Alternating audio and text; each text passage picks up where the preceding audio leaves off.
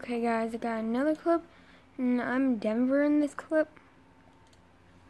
So I fake it a handoff to Phillip Lindsay, throw it up to Manuel Sanders, one-handed catch, then boom, easy money.